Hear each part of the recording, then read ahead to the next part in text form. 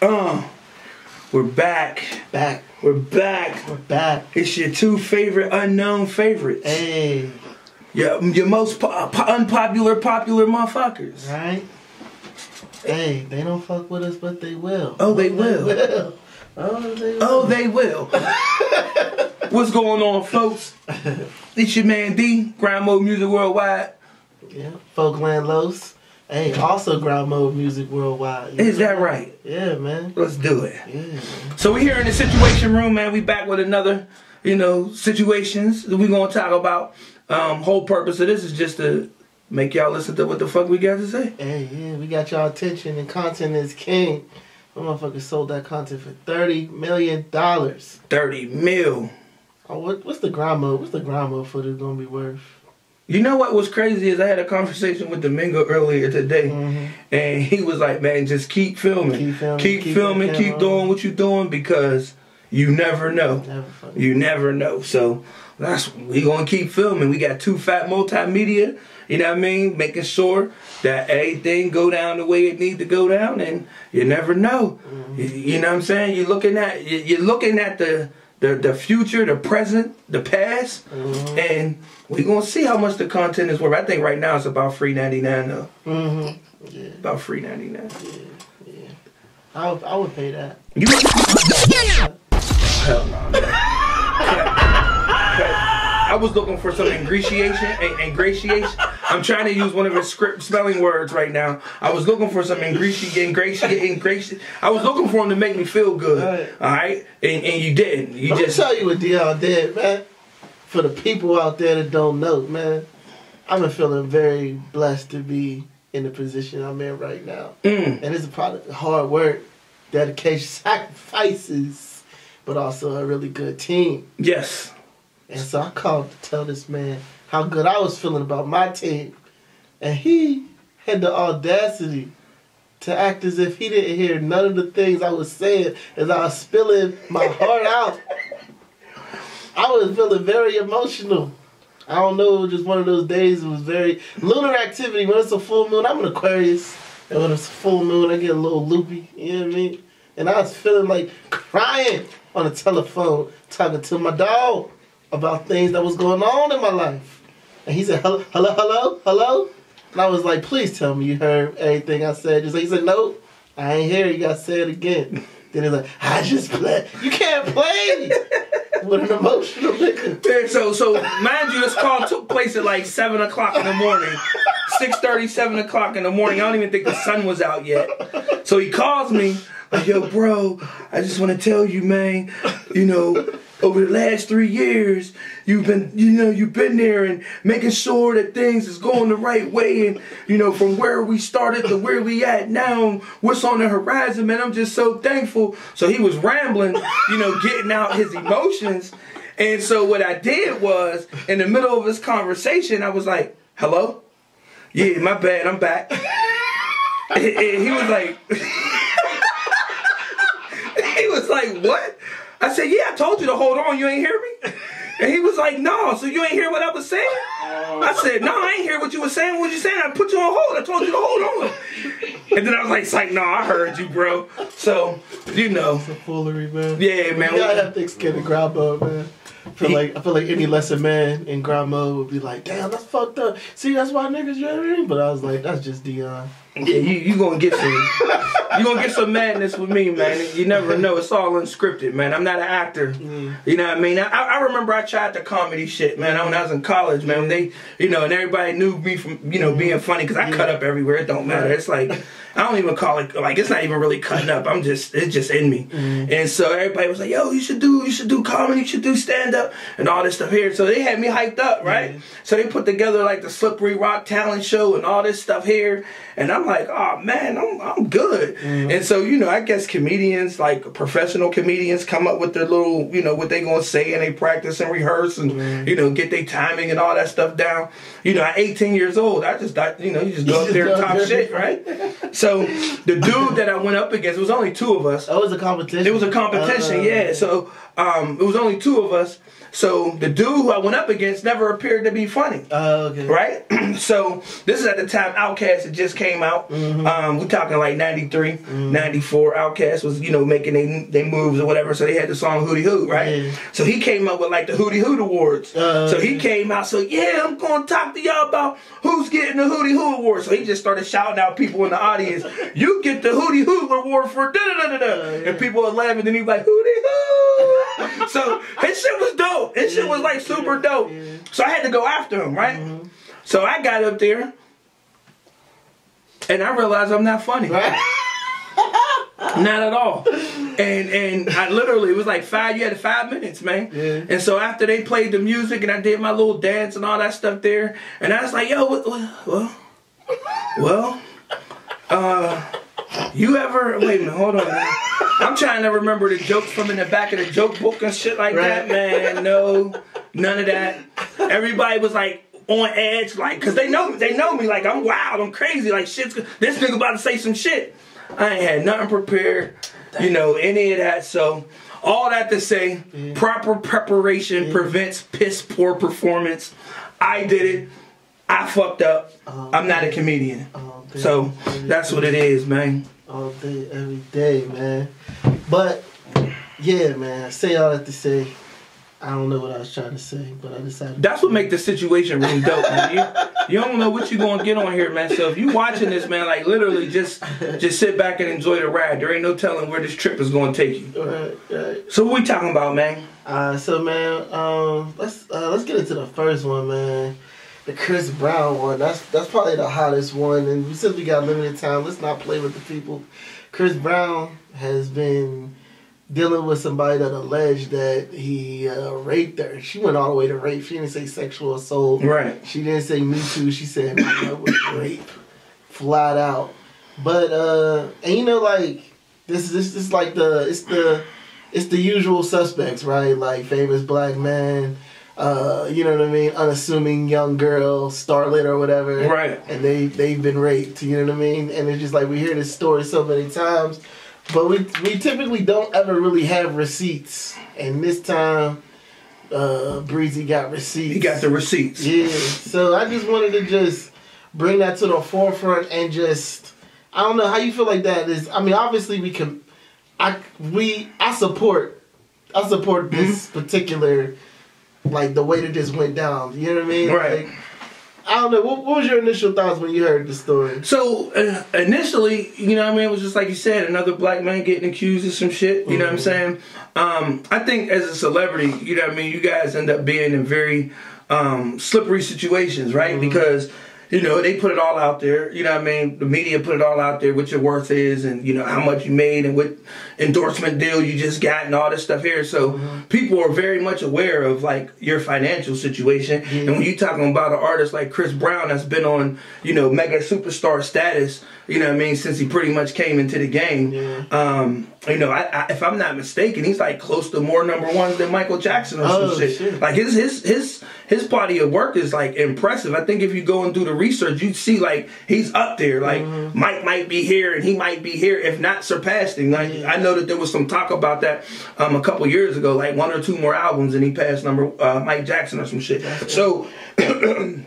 you know when you're on that level you really got to be careful of the social circles that you you know you find yourself in um, because the leeches is out there they Yeah. going you know what i mean they're going to try to do what it is that they do to try to get what they want um, and, and try to get you to you know give them a bag to keep their mouth shut or whatever the case may be so um, you know, since the Rihanna situation, he's he's really He's done a great job of just managing his his his uh, personal life and keeping whatever's going on in his personal life from being you know uh, sensationalized in the media.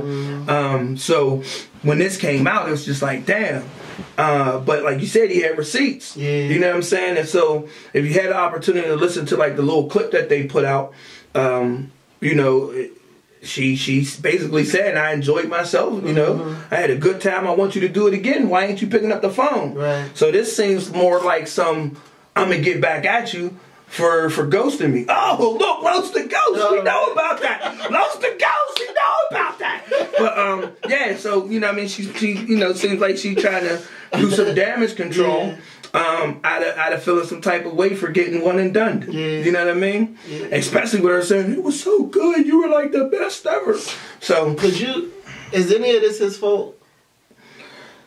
It's got it, it, it's hard to say because um, you know you, you're always gonna get this from me. I always start at eight when it comes down to a situation, right? So um, I can't I can't necessarily say it's his fault because we don't know how the the interaction went. Like if mm-hmm. she was completely willing and you know what I mean, they they they linked up and you know they was at the party and everything was cool and and, and she made it where he was comfortable being in her company in mm-hmm. private Yeah. then I, I can't say it's his fault. You know what I mm-hmm. mean? Is it our fault when we, you know, had sex with whoever we had sex with? You know what I'm saying?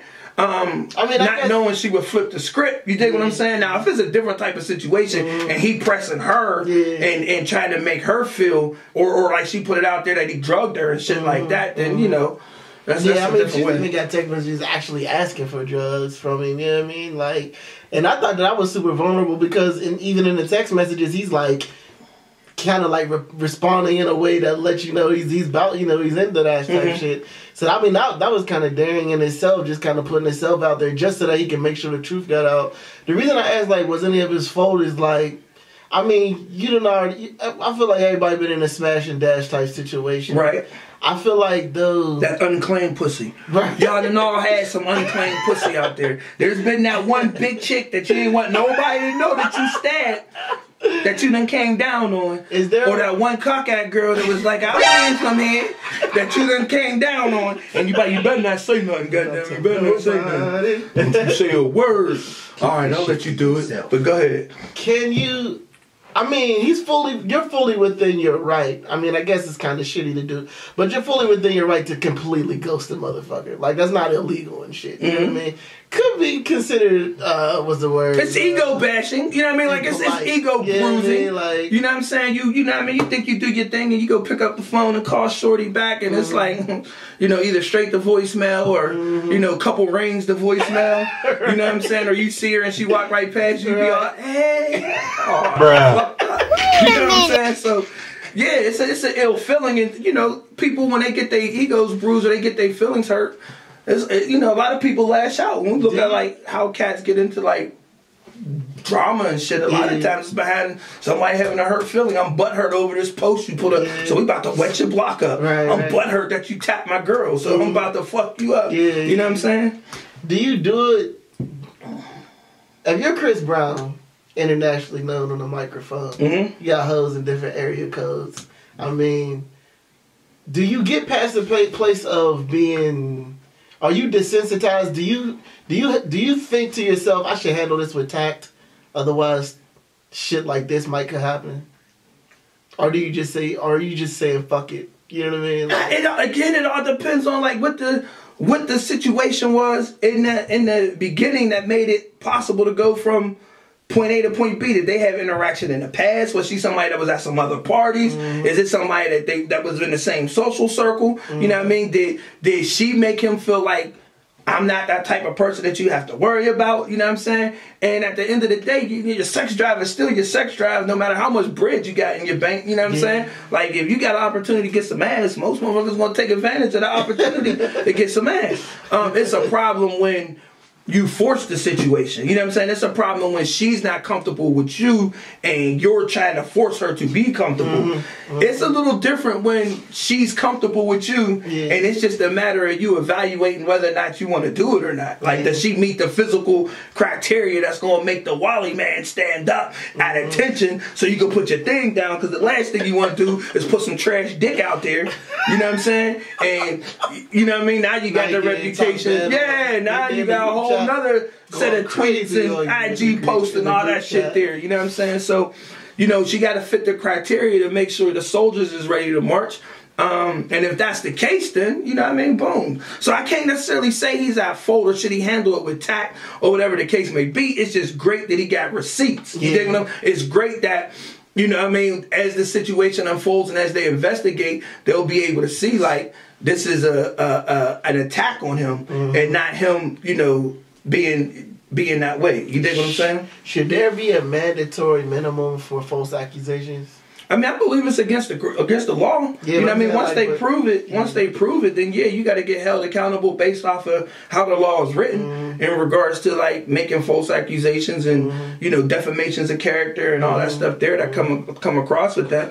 And from what I understand, he has a countersuit going Yeah. um, and things of that nature. So I'm I'm pretty sure based off of you know his his you know clapback, um, he's pretty much aware of like I know what it was. It wasn't that. Mm-hmm. I got the proof. I'm standing up. Um, and I agree with Charlemagne. Charlemagne, you were 100%, you know, on point in your comment that the media should eat up this av- aspect of it as mm-hmm. well. You know what I mean? The stuff that he's showing that that on his end, just like they ate it up when she made the accusations. It's all mm-hmm. over the place. Oh my God, it's Chris Brown again. Chris Brown, Chris Brown, blah blah blah blah blah. Hold on.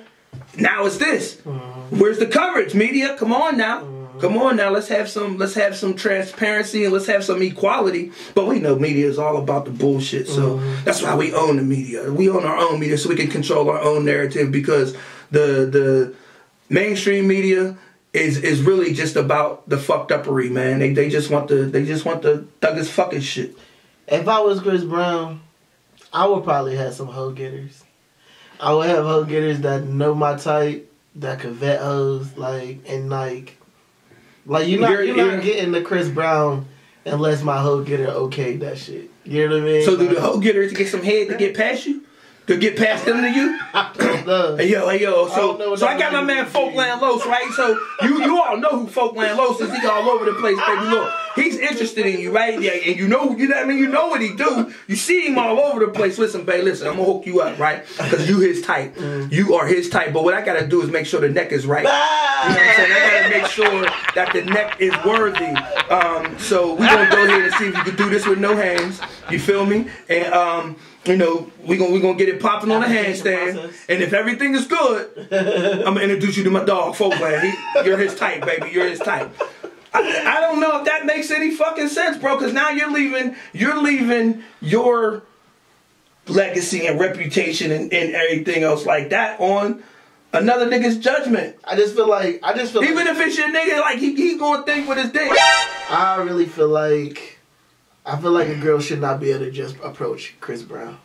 And I it all feel like there should be a heavy vetting process of, yo, is she crazy as fuck? Let's let's let's do our homework on this bitch. all right, Los. Let's let's let's look at this and through a realistic lens, man. I, I love it. That is realistic. Ah, I hear you. I hear you. I hear you. But you're saying that a girl should not be able to approach somebody like Chris Brown. Let's Not just the not okay. All right. Let's just okay. So you're out. We we we've been out, right? Mm-hmm. We've been on some high celebrity shit, right? Yeah. VIP bottles, the whole 9 mm-hmm. If we going out with all of our squad, right? So we mm-hmm. talking anywhere between 15 and 20 dudes, right? You know what I mean? Sometimes up to 50. Mhm. What the fuck do we look like sitting in a VIP with a whole bunch of niggas? That shit don't make no damn sense. When so I what are we gonna do? What are we gonna do, bro? You are gonna send your peoples out to find the, the baddest shorties in the club to come on over in this section, right? The ones who didn't come with us, we're gonna get some more up in this section. Mm. Guess who those are?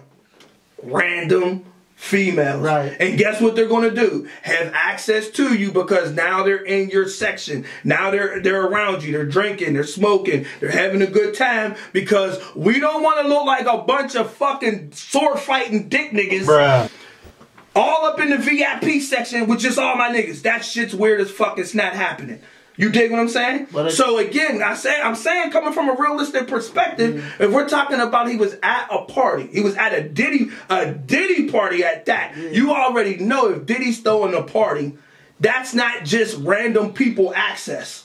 That's not just like, oh shit, I was walking down the street and I seen Diddy was having a party, so I walked over and went to the crib. Mm-hmm. That is like the people in the social circle who is familiar, that got the access, that got the pass, that got the little, you know, whatever it is that they get to be able to get into that party past Diddy security. Fuck Chris Brown at that point. Chris Brown is comfortable in that space because he knows Diddy has his own vetting situation. Diddy's been known to throw the littiest parties in Hollywood across the country for years. Mm-hmm. He came in the game throwing parties. So of course he gonna have situations where he mitigate his risk. So if she's there, it's already assumed that she she she deserved to be there. She's one of the chosen.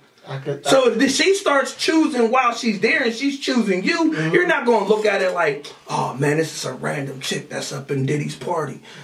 I definitely am. I mean, but I'm a different nigga. You are a, a, a, a tiger stripe with peculiar stripes raised around saber tooth. Like, I'm not, and the, and the thing too is like, even though like I'm a different nigga mentally, Chris Brown is a different nigga. Just he's an extraordinary nigga. So you have to go through extraordinary measures in your life. You can't do things the way a regular nigga would do it. So But that's not that's what I'm saying. But but what would you okay? And I agree 100. percent I agree 100. percent But that's not a regular nigga party. okay? That's not a regular nigga party. Okay. That's not a regular nigga shit. Nothing about that is regular nigga. I feel like assume nothing. I would not. I'm not gonna assume just because you know P Diddy, you're cool.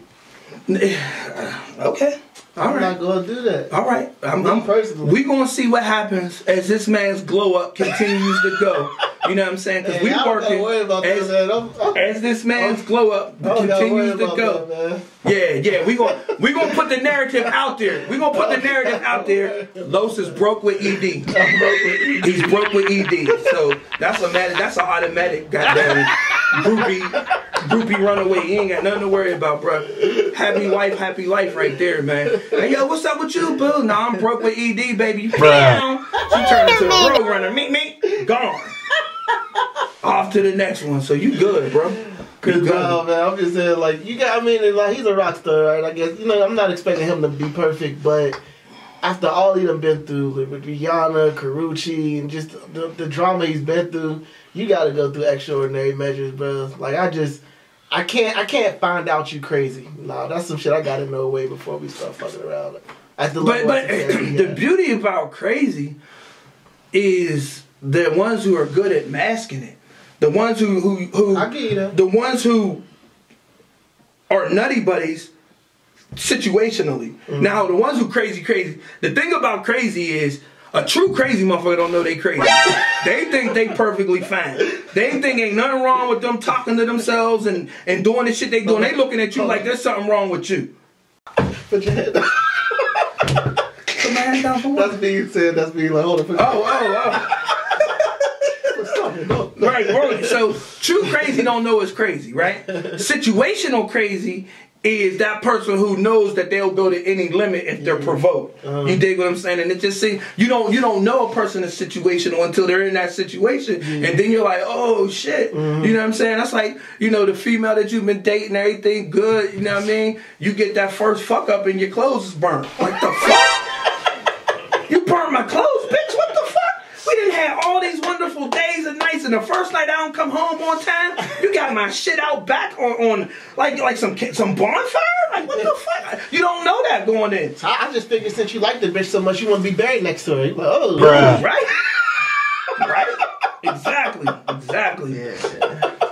Till death do you motherfuckers part. Uh huh. And that's what it be. That's what it be. So yeah, I do agree. Like you gotta have you know some sort of a a, a, vetting process in that. But I just think that there's there's just, I mean. It, you can't you can't mitigate all risks. Like you and I can't, was, I was like, there's no with the perfect situation. Shit, but I feel like you definitely should have people. There should be channels like you're. You're a phenomenal motherfucker. At a certain point in grind mode, niggas should not, bitches or niggas should not be able to just be like. Nobody should be able to get your telephone number directly at a certain point when they. Should I mean, it's it's, it's like Yeah, that now. man, Not like- anybody could get to me. Yeah, I mean, like I'm like there's there's I get the calls. Hey, so and so's reaching out or want to reach out, or I'll get a message like, yo, I want to. You know what I mean? So I do agree. Um, and I don't think there's nothing wrong. no, nobody. There's the very few people got this one. It's the business phone. very few got this one. So yeah, I, I do agree. You I, think, I don't think there's nothing wrong with like if you out in a situation, you're a single dude, you you you on that level of Chris Brown status, Drake status. You got your man like you. Somebody should be able to get your man their number for you. You know what I mean? Like I'm I'm I'm 100% sure that that happens. I'm 100% sure that that happens. But at the same time, in that moment, you don't know. Mm-hmm. So I got my, I'm your man, right? Mm-hmm. And you're looking at Shorty, and you're like, oh shit, you know what I mean? She, she, she's nice, and you know what I mean? Like, D, you know what I mean? I need you. I'm, I'm gonna go see what's up with her. Mm-hmm. I go talk to her, and she come across as being the right way, and I don't feel any any issue out of that, Yeah. I'm gonna be like, yo, mm-hmm. here. Yeah, you. You dig what I'm saying? I vetted it. Everything's good. I'm your mm-hmm. dude. I'm that guy. I'm the mm-hmm. number runner. I'm the, I'm the go. I'm the pussy go getter. You know what I mean? Like that's what I do, and I did a good job at it. You know what I'm saying? So that's what it is. Can I fuck your friend? You know what I mean? Like there it is. Let's go. But at the same time, if she, if you do some shit to make her flip the switch, you dig what I'm saying? Or you, you, you, she flipped the switch. Like then, then you can't say it's your fault. You can't say it's my fault. Like there's, just, I don't, I don't know. It's just you're a very concrete and ideal person. Y'all gonna pick that up on the situation room about this guy. Very concrete, very ideal. This man believes in very clear lines. They're not blurred. They are clear as a motherfucker, and we gonna expose them shits on here. Can they be exposed? We gonna see. I don't have enough pride for real. But uh, you want to go to the next one? Let's go. What we talking about? Vince Staples, he made a comment that you're worth more dead as a rapper than alive. What you think about that? I think in the sense of um, artists that are signed to record labels, um, when it's all said and done with, it goes back to a little bit of our conversation last week um, in regards to it's about the money. You know what I'm saying? It's really about the money. So um, people do, you know, have their mourning process. You know, an artist passes away. Let's just say they were, you know, fairly popular. They pass away. You know what I mean? People start reminiscing and playing their music again, and you know what I mean, giving, you know, going through their memory lane and you know recalling the life of the artist, and they're doing it from more of a celebratory mourning perspective. But in business, the record companies see the they, they see the grain in that. Yeah. You know what I mean? They know that. uh people wasn't playing this record or this artist's music as much alive. Yeah. Now that they've passed, we know we have a surge point where people are going to start listening. The radio is going to start playing tribute songs, and you know, what I mean, we're going to have our memory. So if I own the rights to the music, yeah, I'm, I'm good. And if there's no estate in place, if there's no no will in place, if mm-hmm. there's no, um, you know, and a lot of artists don't do that with their contracts. You know, what I mean, mm-hmm. they get happy with their advance. You know what I'm mm-hmm. saying? They take their advance, they try to make the best of it. They come back, they get more money. You know what I'm saying? They try to make the best of it, depending on how that recouping situation looks and how how well you're doing as an artist. You might be in debt. Yeah. You know what I'm saying? And there's nothing to give to anybody else. So when you pass, all that shit just spikes up because now we're listening to it as fans. Yeah. You know what I'm saying? We're mourning with the artists and their family.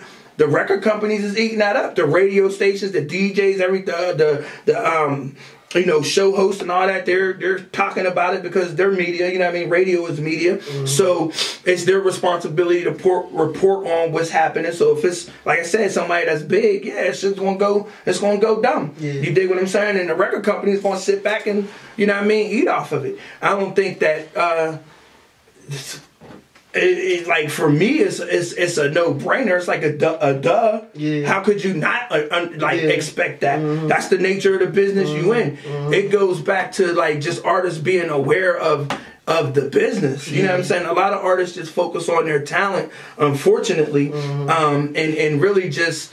You know, all I want to do is rap, or all I want to do is sing, and they, you know, start putting pieces of the puzzle together to try to make that happen. And then when it comes to the labels, the labels put their pieces of the puzzle to make sure they gonna get back what they get back because they're the bank. You dig what I'm saying? So I'm bankrolling all this. I'm paying for your wardrobe. I'm paying for your videos. I'm paying for your radio runs. I'm paying for your uh, tour, uh, promo tour spots and all this shit there. Like all that shit costs. I'm paying your per diems at hotels for the cities you're going to. I'm paying your flights. Like all that shit is coming out the pot. Yeah. You owe all of that back, bro. and I passed. You owe all that. You owe all that back. Mm-hmm. You dig what I'm saying? And we got you written in stone because most record companies start out with like there's there's a, a, a point in there that's like this this contract stands right for the whole universe and Right, the that's the entirety of bugged out part you know what I'm saying? Like it's right right off top. Like they're taking it like this this shit is long standing. You know what I'm saying? So we might give you a term. We might give you a term of two, three albums or five albums or whatever the case may be. But if you haven't had the opportunity to deliver on those albums, mm-hmm. guess what we're going to capitalize off of? Yeah. Your death. Yeah. You dig what I'm saying? Because you're still contractually obligated mm-hmm. to meet these expectations because for a lot of artists, like if it wasn't for the label, who would know you? Mm-hmm. You take what I'm saying? Like if it wasn't for the label and the PR firms that they have associated with the labels and their relationships with the press to cover the artists and their relationship with radio to be able to service the record the radio and set up the interviews and have them at the Lydia's parties and all that mm-hmm. shit there and give them that validation that that we as the consumer look for, oh man, that's so and so. He signed to so and so. He rock with so and so. He got a record with so and so. Now I'm a fan. Mm-hmm. You know what I'm saying? But that artist was still making the same dope music five years ago. You ain't know shit about him. Mm-hmm. You listened to him on SoundCloud. You kept it pushing. Mm-hmm. You you heard his first joint on on Spotify. You pushed skip. You dig what I'm saying? Five years later, the, the record company and blew him up and you listening to everything. Yeah. You think what I'm saying? Like that's our that's our we as consumers have to take responsibility for how fucked up things are because we don't pay attention to people until they have some sort of status. Mm-hmm. That's on us, bro. You know what I'm saying? That's on us as consumers. So I jump in there, but the thing I want to say is, um, okay, or maybe this is more of a question. Why do you think that the people that are closest to the artist, like it'll be the homie, the, the, the artist homies or clique or their family, why do you think that they always feel a sense of being gypped or jobbed, or maybe they feel like the label is being disingenuous and it's just a money grab, and you know what I mean? They didn't look out for the peoples in this situation. You know what I mean? Like why? Do because they, why they feel so slighted? The record companies are going to honor what's written on that paper. Mm-hmm. Forget anything else. Mm-hmm. They're only obligated to honor what's written on that paper. Mm-hmm. If your homies, your family, your kids, your moms, your sisters, like if they're not included in that paperwork, bro, yeah. the record companies are not obliged to look out. Now, now morally, you would hope like the A and R and the people that you've been that you made this lot of money for, you know, at the record label, know that you're getting, you know, million dollars, you know, coming in from uh elevated streams and shit like that. You would mm-hmm. you would hope morally mm-hmm. they would say, okay, let's cut a check to the family, yeah. but they're not obligated to. And when you talking about like the head of these companies, like at the end of the day, they don't really give a fuck about the culture. They give a fuck about the money. You know what I'm saying? So whatever the circumstances was that led to the death, whether it was drugs, being in the streets, or you know what I mean, you was out drinking and driving, or whatever it was that led to the death, that's what they're gonna look at. You know what I mean? Like, oh man, you shouldn't have, you shouldn't have been drinking and driving. Oh man, you shouldn't have been beefing with you know so and so. You know they had hitters. You know what I'm mm-hmm. saying? Oh, you shouldn't have been taking them drugs. So a lot of times they're not gonna give you know too many fucks to like What's going on? Two points. One one point is is there is there any because we talked about tact in the last situation is there a tactful way for the labels to do this without the the family or the closest kin feeling fucked off you know what i mean yeah if they have a moral if they take a moral inventory and decide to do it mm-hmm. but again they're only obligated based off of what's contractually in place mm-hmm. so if my moral if, if my moral composition isn't set to give a damn about you, your family, your livelihood, and all that stuff there, mm-hmm. then I'm not even going to think about it. Yeah. I'm going to focus on ingesting the bread that we need to continue to elevate this shit for as long as we can. And yo, how many how many unrecorded, unreleased records do we have of them? Mm-hmm. You know what I mean? Can we put together another album and release it? You know what I mean? Mm-hmm. We're going to go like that's where my mindset's going to be. You dig what I'm saying? And unfortunately, that's what a lot of them do. And another thing I wanted to say is like, I know you've heard of it in the past, like a hip hop union. Do you think something like that is realistic? And like, like if Diddy, Jigga, Dre, if they decided to like, okay, we're going we're going to create a coalition of even a retirement plan, maybe not even a union, but just like, yo, if you get with us, we'll do some revenue sharing. We'll put you in a situation where it's like when you get old and beat up in the game, chewed up and spit out, if you sold X amount of records or something like that, healthcare, some shit like that. Do you think something like that is possible? Uh, no. Mm-hmm. I, I really don't, you know, see something like that, you know, taking place um, in that because unfortunately, like the music industry is blood sport. So if I if I shedded my blood, sweat, and tears to get here, I'm not giving no handouts. You know what I'm saying? Like the people, my day ones is going, you know what I mean, be what they mm-hmm. are. And anybody else that come up is going to be business because that's the nature of the business. Mm-hmm. So again, understanding the industry that you're in, understanding the nature of the business is going to continue, you know, as as such. Now you got some disruptors in that. You know what I'm mm-hmm. saying? Um, you know, Jay Z's definitely a disruptor, you know, in that, but yet and still, don't get it fucked up. He's still conducting music business on the art for the artists that side in the Roc Nation, just as uh uh you know, whoever uh what's his name? Um uh Interscope. What's my man's name over Jimmy at Interscope? Yeah, Jimmy Iovine's gonna conduct on his artists that side in Interscope. You dig what I'm saying? So there's still gonna be, you know, that same element in place because that's the nature of the business. So when you talk about, you know, some of the biggest and most successful artists that that that paved the way and made uh you know billions of dollars. So we're talking the the Jay Z's, the Dre's, the Kanye's. You know, what I mean, the Drake Drake is on his way up there. Um, the you know, the got people who are like really Master P who are in these these spaces. Yeah. Um, I think Master P is probably the only person who would be Willing willing, you know what I mean? Like he's a revolutionary and and he he also is a disruptor and a non-giver fucker of the system. You dig what I'm saying? So I see him being more likely to do it than anybody else because that's just not their mindset. So if it's not in your mindset to like, you know, do for the people, you know what I'm saying? Like you do for the people as it benefits you. See, when I was thinking, when I'm saying Dre, Jigga, Diddy, them is kind of like the congressman or the spokesman or the president, so to speak, of hip hop. You know what I mean? You could throw Master P in there too. Like those are the statesmen of hip hop. You know what I mean? Mhm. Like those are the people when they speak. Typically, no matter what wavelength you on, gangster, whatever, backpack, you kind of listen to what they talking about, and like, and they kind of forge the direction of where hip hop is going in a way Right. especially from like a black excellence business perspective.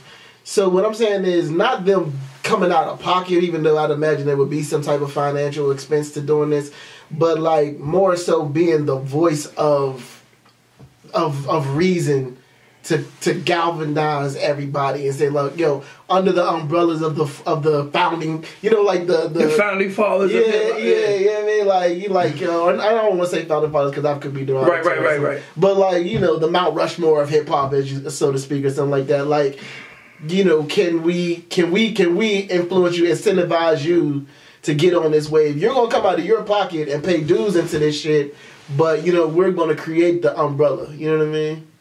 That's kind of more or less what I was thinking about. I got you. I'm sorry. Life and grind mode.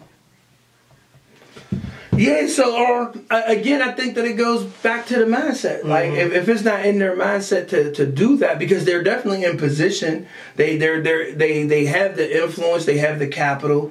But if that was the case, like we would have like black owned distribution companies. You know what I'm saying? You only got three: Sony, Warner, and Universal. They they could literally compete and develop the next you know, distribution company. If if you know that if that's what you know, what I mean, they want it. I don't I don't know. It's it's it's it's really it's, it's really hard to get into um, why people you know do what they do once they get to a certain place. Yeah. I think uh, you know a lot of it comes down to like their personal agenda. Like these are the things that I want to focus on. You know, what I mean, again, I put in this blood, sweat, and tears to get here. I deserve it, and this is where I'm at with it. You dig what I'm saying?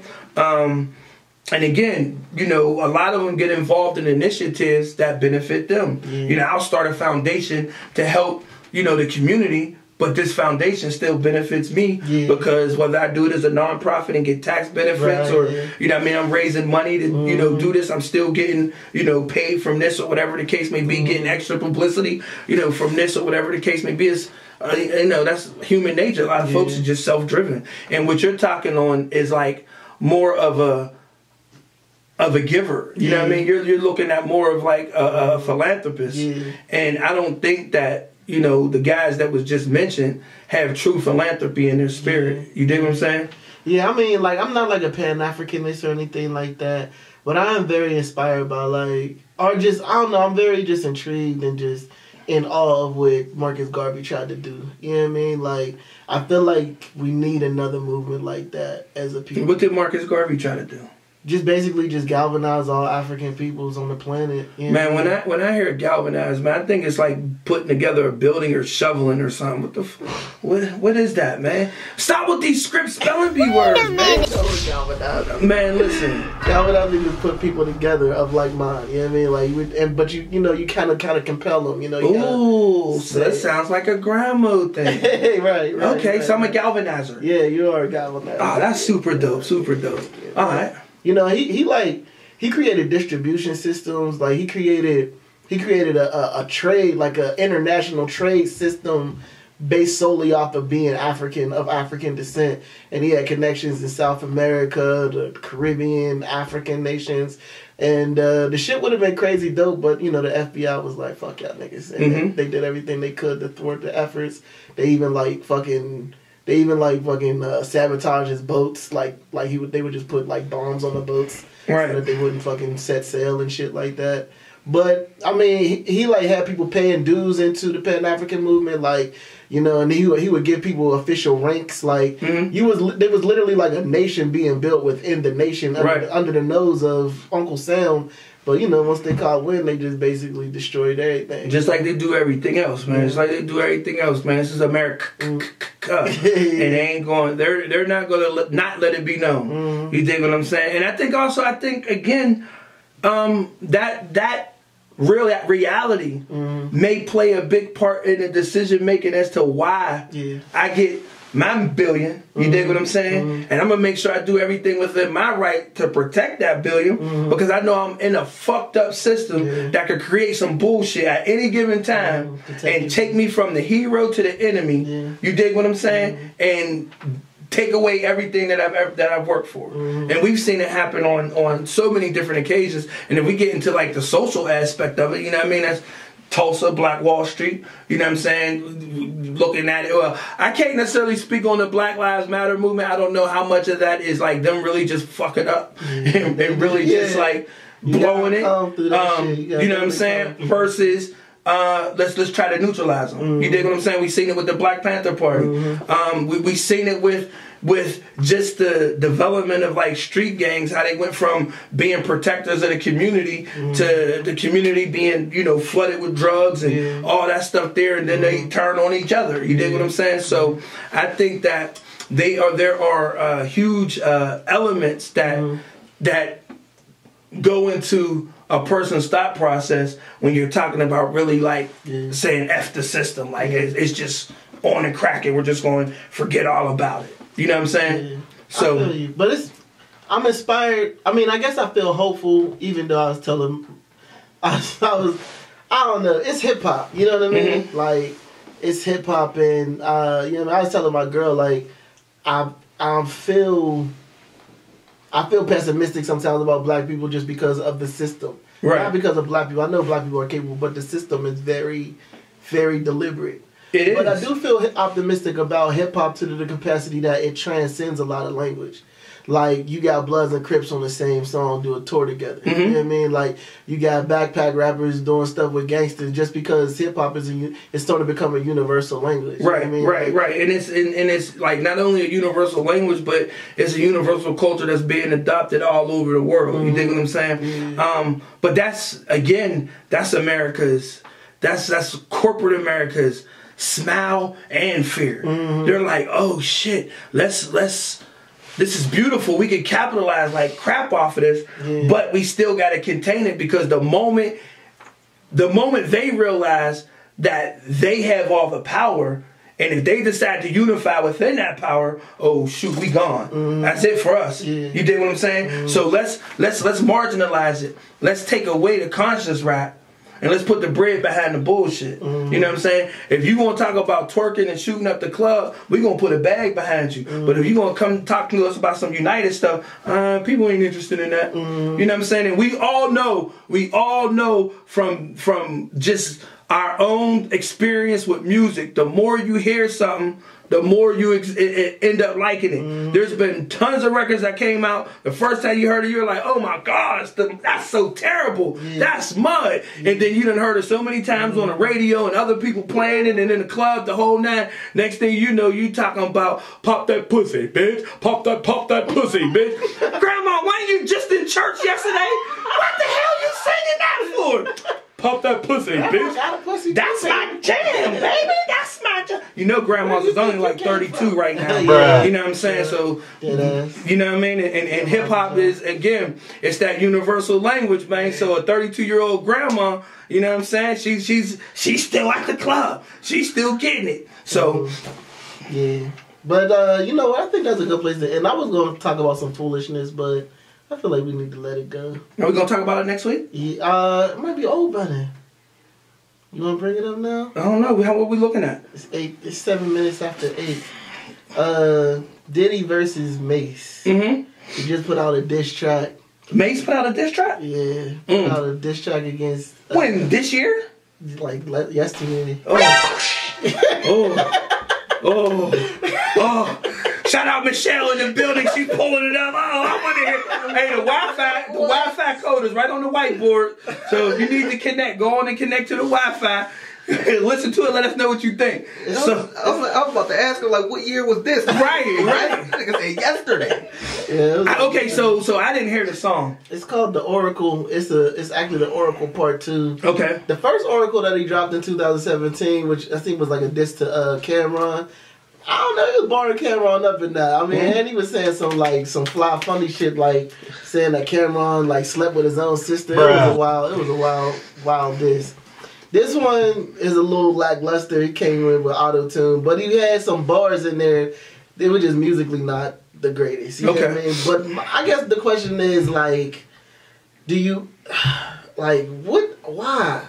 Why do people always come for Diddy's head? Why does it seem like people will be friends with Diddy, then come back around and they not friends? Okay. It's a carousel back. We on tour. Now I hate you. It's just like what the fuck. Okay, so Diddy was. You got to remember where Diddy's origins come from. Mm-hmm. all right, Diddy was schooled by Andre Harrell. Mm-hmm. all right, the head of Uptown Records. That was his mentor coming into the game. Mm-hmm. So the very first thing Diddy learned in music Mm-hmm. was the business. He understood how important the paperwork was. Mm-hmm. He knows that the paperwork makes the paper work. Yeah. He understood that coming out the gate, right? So when he got released and fired from Uptown and he decided to start his own thing, he had enough knowledge mm-hmm. and enough understanding of how important the documentation is. All he needed was a check and an mm-hmm. artist. And he was able to successfully do that Yeah. and built his brand, you know what I mean, Yeah. from that. On top of his gift, you know what I mean, like he's Gifted, he's yeah. sonically gifted. No, he's sonically gifted. He know how to make records. Yeah. And even though he might not actually make the he's beat, he he knows how to take elements and bring them together. Oh, this person, this this track needs this person. We need this songwriter to write this type of record so it can be this way. Don't get that fucked up. That is art. You like dig what I'm saying? Don't don't don't get it messed up. That is producing. You know what I mean? I think a lot of us got it twisted, thinking that You you got to hit the yeah, keys. yeah, you know what I mean to be a producer. But if you have that that gift to be able to sonically hear what's going to work and put it out there and it works, Mm-hmm. Yeah. Mm-hmm. it is what it is, right? So he understood his gift and he used what he had. To, to build what he what he what he did. So I think one of the reasons why people come at Diddy is because they don't understand the paperwork. They don't understand the paperwork. It goes back to the origin, right? It goes it goes back to what you agreed to. So if you if you listen to the interview that that Diddy gave, I don't know how long ago it was, but he gave an interview where he was talking about Mase, and he said, you know, we we we, we broke you off two times. Mm. The first time you didn't do what you were supposed to do, retired. We chopped that one up to God. Yeah. You know what I mean? Okay, we tied that. Mm-hmm. You know what I'm saying? But then you come back and we give you another bag. Yeah. And then you try to do the same stuff all over. No, we holding you to that. Mm-hmm. We holding you to that Yeah. because you agreed to this, mm-hmm. and we broke you off as a result of your agreement. You know what I'm saying? So when you look at these advances and stuff like that, that again, it, it- it's, it's the ignorance of the artist. But the ignorance of the artist is what leads to I can't even call it manipulation because that's the business. Mm-hmm. You dig what I'm saying? And then it becomes, oh wait a minute, I, I didn't get my I didn't get my uh, money from my record sales. I sold a million copies mm-hmm. and I didn't get a dime. Yeah. No, because your dime is sucked up in that two million we gave you up front. Yeah. You only covered five hundred thousand of that two million after taxes after you mm-hmm. sold a million records. Mm-hmm. I'm pretty sure those aren't the accurate numbers, but you factor in the record sales, taxes, and all that stuff there, and you weigh that against the advance. Where does that come up with the advance? On top of the per diems, Yeah. the tours, mm-hmm. the radio, Yeah. you know what I mean, the marketing budget, all that comes out of your, you know what I mean? So mm-hmm. your two million advance is tapped on with another seventy, eighty thousand dollar budget, mm-hmm. you know what I mean, to market this just a single. Yeah. You dig what I'm saying? And promote just the single, and then the PR firm that they have to have, you know what I mean? Like all that shit that goes into doing that. Again, you might have sold a million records. That million records don't cover those initial costs. So guess what? You gotta do it again. Do you think that he's purely benevolent? Though? Who? Did- Here, come on! Come on! I keep asking you not to use these script spelling bee words with me, bro. Like you gotta stop that. What you trying to embarrass me, man? You trying to embarrass me? Something? Shit! You know I grew up in the hood. I ain't. Ooh. You know the school that I went to taught us like robbery shit. And we ain't wearing good in English. Our English teachers were scared of us. They just wanted us to get the fuck out the building, man. Went- How you gonna come up with I that went word? to the number. I went to the second worst school in Pennsylvania when I graduated. But you had you you admitted you was a peculiar cop.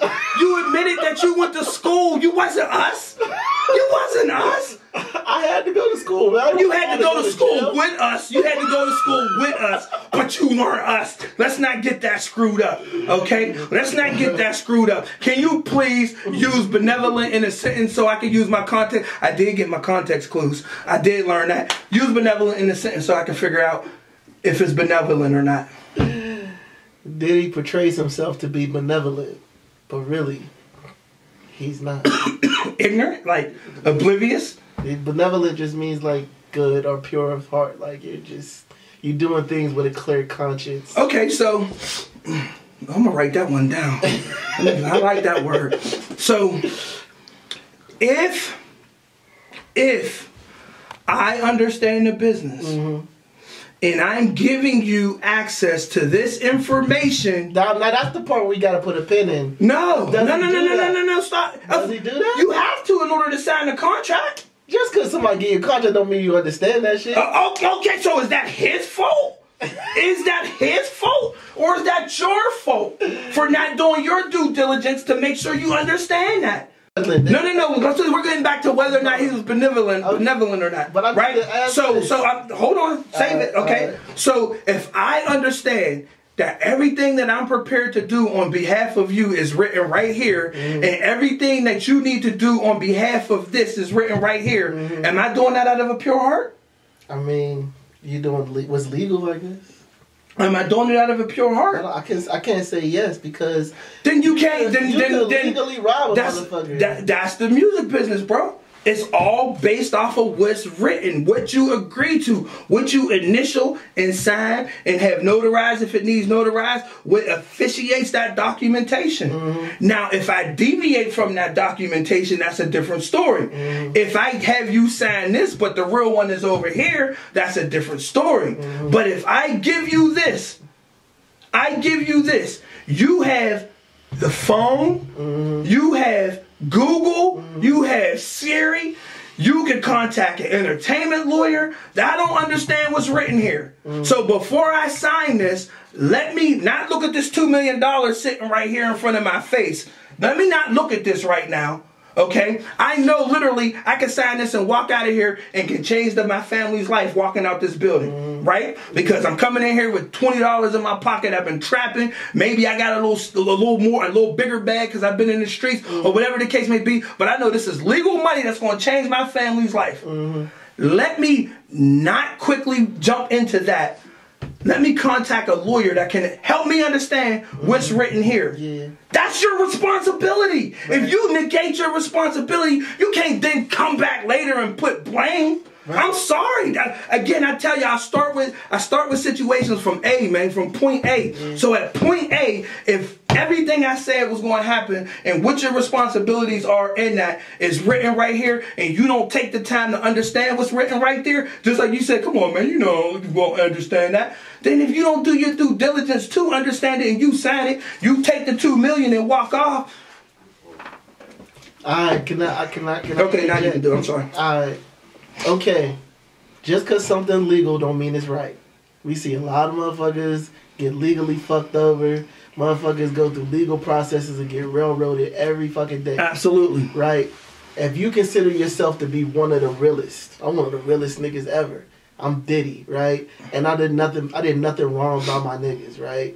But you put language in the contract that's gonna bind them to situations that's gonna make them But if it's let me finish, let me finish, let me finish, let me finish, institution- let me finish, let me finish. You put language in the contract that you know is not to their best interest, and you say to yourself, if they catch it, then you know we can rene- we can renegotiate, we can re- we can address it. But if they don't catch it, that's on them. Then you find yourself ten years later getting drugged all day, and you say to yourself, "I don't understand. I mean, everything was legal. They knew what was in there. What to me? That's I'm just I'm gonna just speak for me because I value my peace. Mm-hmm. I'm not going to put myself in a position to have somebody unwittingly sign some shit that I'm gonna have to be in court about in the next fucking five years. I'm gonna make sure that before somebody signs some shit with me, everything is on the up and up. If you really, really real, but you could be really, you could be a snake and be using the law to fuck people over. And, and I mean, okay, so you're absolutely right, and I'm telling you, one thousand percent. That's one thousand percent what the music business is. When you go to them labels, that's exactly what you are doing. Exactly what you were doing. So let's take me for instance. Mm-hmm. all right. So me understanding the nature of the business, when I was blessed to be able to get the label partnerships and get the things that I have in place as a company, I had two choices. Mm-hmm. I had play the game the way the game is played, or play a new game. Mm-hmm. I decided to play a new game, Yeah. right? Because mm-hmm. I come more from a place like you. I don't want to put people into contracts. I don't want to be in murky waters. I don't want to deal with all that. So what we're going to do is we're going to build the network and we're going to provide the services and we're going to sign service agreements for what we do. We're not going to do contracts. You can go sign a record label, do all that stuff there, but you can hire our company to be able to provide the services you need as an artist. Okay, mm-hmm. that was my way personally my way of doing exactly what you said. Mm-hmm. But that's okay. So on the flip side of that, you see the challenges that it brings. Mm-hmm. You understand the grind that it takes to be able to try to make something mm-hmm. because we're not playing from that big spot. You dig what I'm saying? It's cool. But we're not playing from that big spot. You understand what I'm saying? We're not coming out the gate with millions of dollars or whatever the case. We building from the mud. Mm. So it's a more difficult road, mm. but to me it's a more pure road. And we've had that conversation while we've been out on the road mm. that I personally would want to make sure that regardless of how difficult the journey is, I'm doing right by my people. But I can't say people who decide to start a record company and set it up just like status quo is is wrong, evil, manipulated or any manipulative or anything like that mm. because that's the nature of the business just like NFL. You got people whose NFL like players whose NFL experience was absolutely terrible. And then you have others who were had the same experiences but made the best out of it. You dig what I'm saying? It doesn't change the fact that the game is the game. The NFL is the NFL, and they mm. conduct business the way they do. The NBA conduct business the way it does. Mm. The music business conduct business the way it does. Mm. If you do not take the time to educate yourself within the nature of the business that you're interested in, then you put yourself in position to have these things happen. And it doesn't mean that the person who's handing you the contract or the agreement is snaking you off top. Should have That- used the new word. what word? Benevolent. I mean, Oh. uh, no, it's malevolent. Malevolent would be the word. I'm Who? sorry. Malevolent would be the word that you was about to So you said benevolent. I Benevolent is good, but you should have is said malevolent. Malevolent Yeah, you the should have opposite. said, yeah, it's the opposite. My bad. Fuck y'all. That's it. We're done for this week. Make sure y'all check us out next week.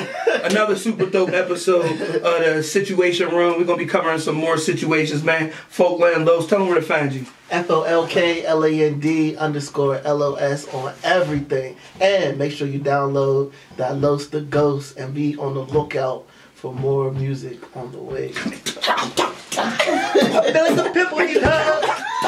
Okay, I'm sorry. And I'm D from Grind Mode Music Worldwide, man. Make sure y'all follow us on Instagram at grind underscore mode 412. Matter of fact, just go to the website, www.grindmodemusic.com, and you can tap into everything that we got going, man. Grindmodemusic.com. Grindmoderadio.live as well. It's our radio station, man. So make sure y'all tap in there as well. Grindmoderadio.live. And um, yeah, you can see what we got going, man. One time. Shout out to Fat Multimedia on the production. Yeah.